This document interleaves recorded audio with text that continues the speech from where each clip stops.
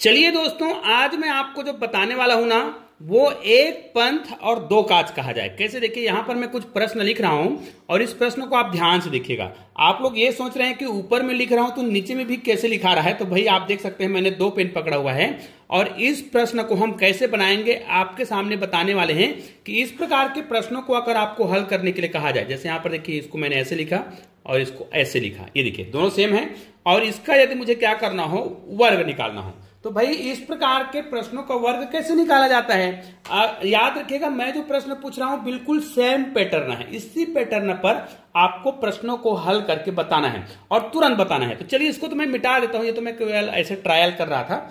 आपको क्या करना है? ऐसा कोई भी प्रश्न हो जैसे देखिए तीन सही एक बटे दो जिसमें भिन्न में एक बटे दो हो और इस प्रकार के प्रश्नों का यदि आपको वर्ग निकालना हो तो इसका उत्तर क्या होगा?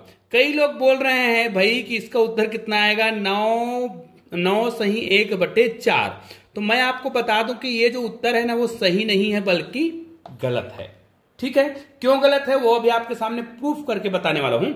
उसी प्रकार यदि आपको कोई बोले, पाँच सही एक बटे दो और इसका वर्ग निकालना हो तो इसका उत्तर जो है पाँच, पंच, पच्चीस और एक बटे चार नहीं होता है। याद रखिएगा, ये बिल्कुल गलत है, आपके सामने प्रूफ करने वाला हूँ कि ये क्यों गलत है, ठीक है?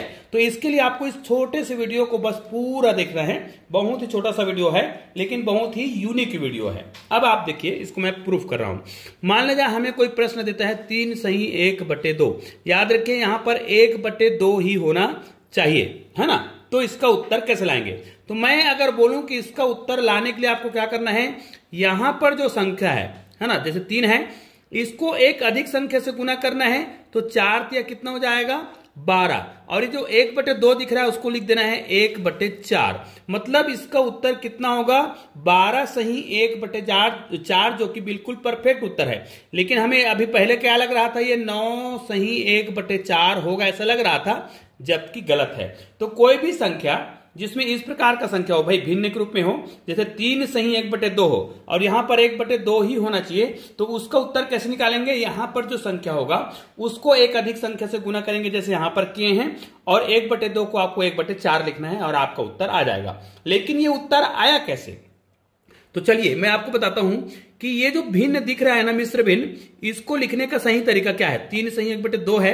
इसका मतलब है कि यहाँ पर कई बच्चे कंफ्यूज हो जाते हैं कि यहाँ पर गुना का चिन्ह होगा क्या? बिल्कुल गलत है, यहाँ पर गुना का चिन्ह नहीं होता है, बल्कि यहाँ पर कौन सा चिन्ह होता है? यहाँ पर होता है प्लस का चिन्ह।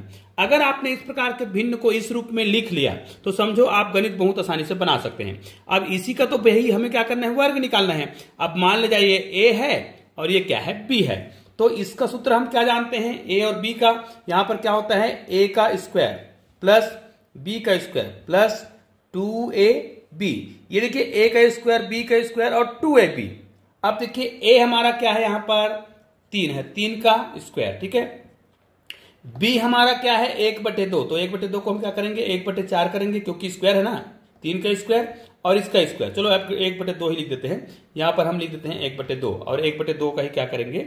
स्क्वायर, ये लो, एक बटे दो का स्क्वायर। अब उसके बाद टू ए बी मतलब टू लिखेंगे ए का मान कितना है? तीन है। तीन है देखिए। और बी का मान कितना है? एक बटे दो है मतलब एक बटे दो। ये दो और दो कटा तो क्या बचा? तीन बचा, ठीक है? और यहाँ पर तीन का स्क्वायर है। अब इसको अगर हम हल भी करते हैं ना भाई तो हमारा उत्तर कितना आएगा? तीन तिया नौ। और यहाँ पर तीन और बचा है। इसको हम जोड़ेंगे नौ के साथ, ठीक है? और प्लस एक बटे दो का स्क्वायर है मतलब एक बटे चार। इसको हल करेंगे तो कितना आएगा? नौ और तीन कितना आ जाएगा? बारह प्लस एक बटे चार। और इसको जब हम भिन्न के रूप में लिखेंगे, मिश्र भिन्न रूप में तो कितना आ जाएगा? बारह सही एक बटे चार, जो कि हमने उत्तर लाया था, वो बिल्कुल परफेक्ट है। तो अब आप समझ गए होंगे कि इस प्रकार के प्रश्नों को कैसे बनाया जाता है। बहुत ही सरल तरीके से आप बनाना सीख भी सकते हैं और लोगों को भी सिखा सकते हैं। तो अब आपको क्या करना है? अगर आपको पाँच सही एक बटे दो का स्क्वायर निकालने के लिए कहा जाएगा तो आप क्या करेंगे? यहाँ पर जो पाँच है, उसको एक अधिक संख्या से गुना करेंगे, ठीक है? तो पाँच का कितना हो जाएगा?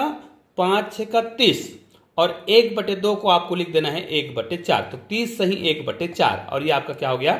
उत्तर हो गया है। इसी प्रकार आप कोई भी संख्या ले सकते हैं। जैसे सात सही एक बटे दो है, इसका स्क्वायर निकालना हो तो सात सत्य उनचास मत करिएगा। सात सत्य उनचास करेंगे और एक बटे चार लिखेंगे तो क्या हो जाएगा? गलत हो जाएगा। सात को आप एक अधिक संख्या से गुना करेंगे। सात अट्ठे छप्पन और एक बटे चार लिखेंगे तो आपका उत्तर क्या हो जाएगा? राइट हो जाएगा। तो निश्चित रूप से अब आपको समझ आ गया होगा कि इस प्रकार के प्रश्नों को हल कैसे किया जाता है। निश्चित रूप से छोटा सा वीडियो है, लेकिन बहुत ही यूनिक वीडियो है तो इस वीडियो को अधिक से अधिक शेयर ज़रूर करिएगा। चलिए दोस्तों, मिलते हैं एक और बेहतरीन वीडियो के साथ। तब तक लिए जय हिंद भारत।